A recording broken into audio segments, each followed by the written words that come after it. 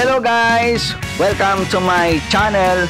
Today ay magkakaroon po tayo ng unboxing at itetest natin itong bago kong bili na Behringer sound interface Udasporia UMC 204XG. So guys, i-unbox muna natin siya tapos itetest natin. Okay? Let's go!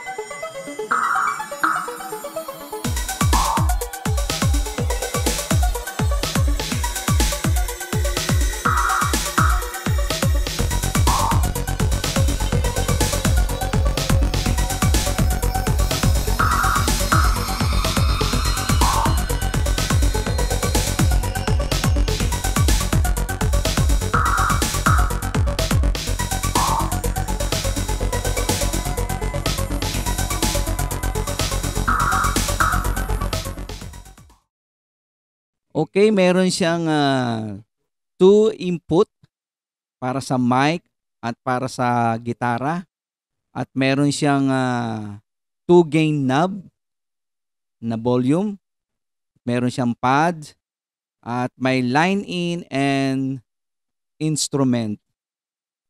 Sa kabila din ay meron pads at meron din na line and instrument. Tapos may stereo and mono mode.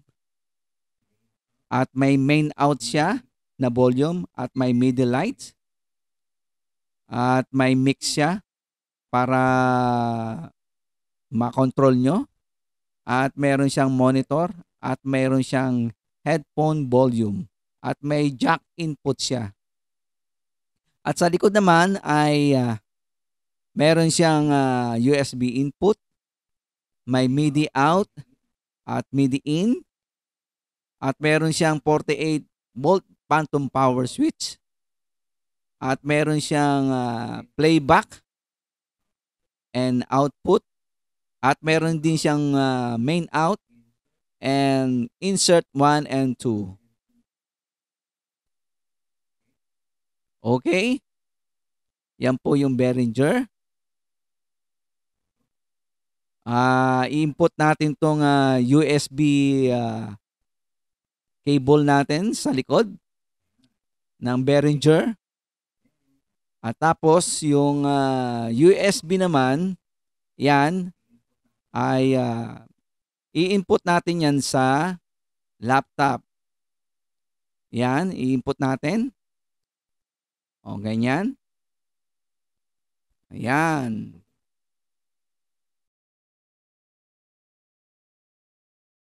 Okay guys, to download the driver, open the browser.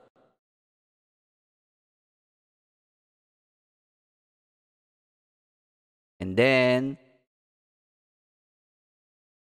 type Behringer.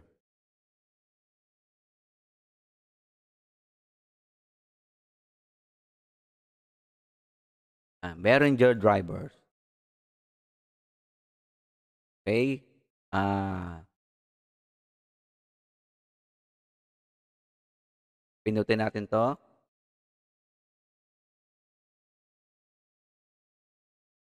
Euphoria.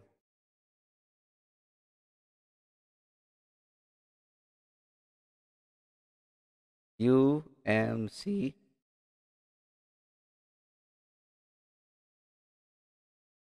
Two zero four HD. Okay. Sir? So, ito siya guys. Windows ang aking ah, gamit. So, yan ang aking ida-download.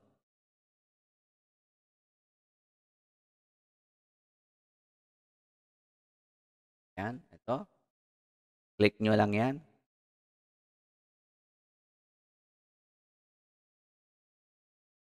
I agree above terms. Okay?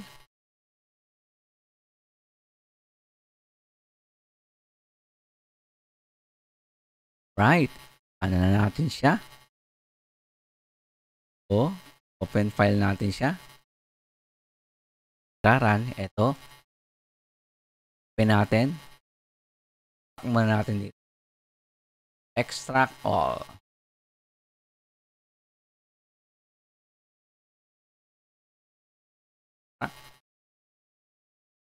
Okay, ito na. So, yeah, click natin yan. Click.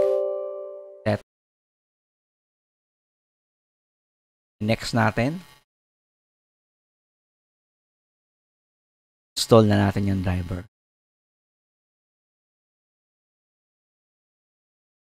So, hintayin natin siya.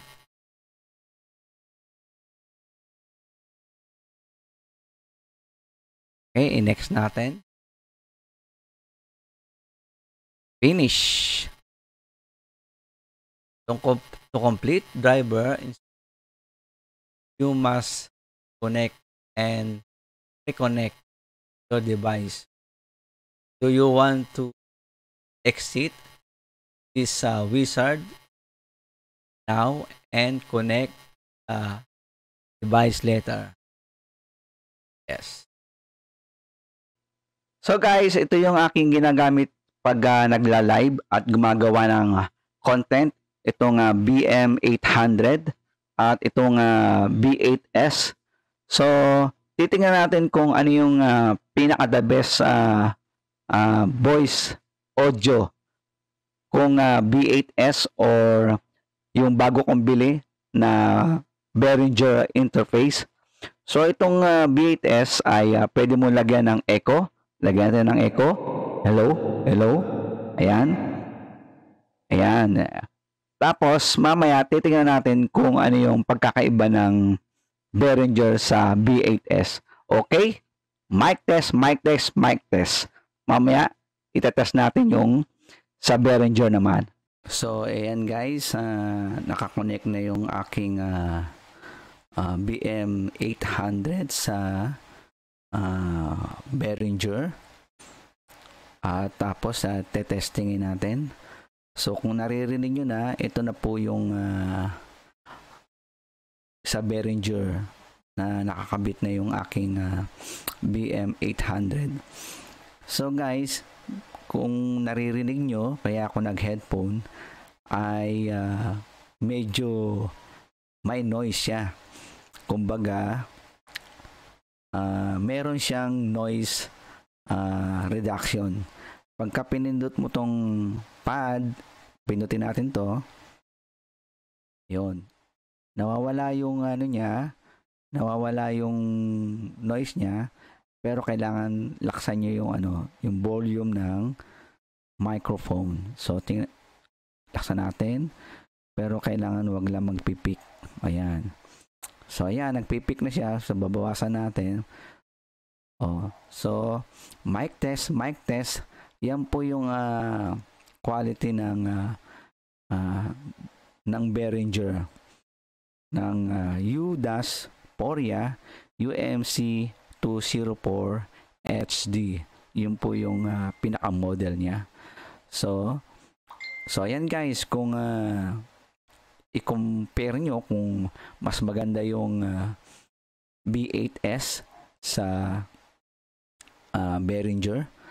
So, itong Behringer guys ay wala siyang uh, echo. So, ang di katulad ng ng uh, B8S ay may echo.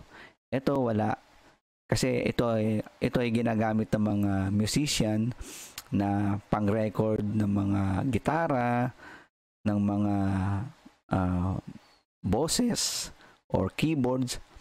So ito yung ginagamit ng mga musician. Okay?